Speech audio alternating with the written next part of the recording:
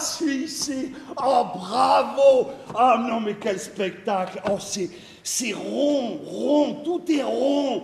Et alors vous, enfin euh, toi, je veux dire, euh, au milieu de ça, mais alors t'es tellement... Pardon. Et genre, je sais, je sais, je sais, je sais, t'aimes pas ça, tu crains, mais alors là, mais ah là, c'est plus fort, c'est, c'est, c'est, c'est si...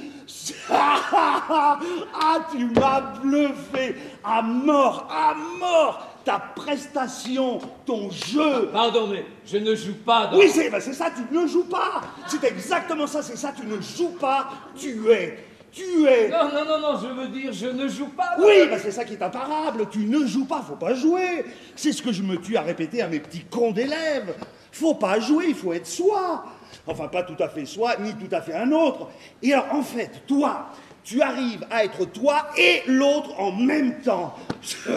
en même temps, tout en restant profondément toi. Hein, au plus profond de ton moi, et c'est ça qui nous cueille, que nous ressentons, mais dans notre chair, sur notre peau. Alors moi, je- moi j'avais des poils des bras, c'est c'est cette dualité-là, tu vois, qui nous saisit, qui nous étreint et qui nous cueille, tu, qui nous tue. Tu vois, c'est ça, tu nous as tués. Tous autant qu'on est, assis serrés côte à côte dans le noir, tués. Alors, soit dit en passant, les sièges. Je sais, j'étais assis à côté de vous. Non, tu peux, tu peux me tutoyer. J'étais assis à côté de toi dans la salle. Voilà, et ben c'est ça, je te sentais comme assis à côté de moi. Je sentais ta présence. Euh, Nous étions côte à côte et face à face à la fois, tous les deux étreints par l'émotion partagée. Alors moi dans le noir sur ce siège, euh, bon, et toi, et c'est ça la magie, ta magie, Ah, si, si, c'est unique, unique. Et alors ta transformation physique, mais alors, la dimension que ton corps prend en scène, c'est géant, c'est géant, c'est- prodigieux. C'est pas. Alors quand t'as failli tomber. Non, alors ça c'est c'est voulu ou c'est. euh, Je crois que l'acteur a glissé. L'acteur Voilà, tu te définis toi-même.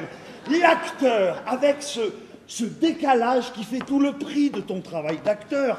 On en a marre de tous ces hystéros qui se roulent par terre en se prenant pour le nombril du monde. Toi, tu es. L'interface entre le personnage et le public. T'es- t'es un passeur. Un pasteur distancié. Tu te, tu rends compte de ça Tu es, tu es la, distanciation incarnée, le rêve de Brecht fait homme.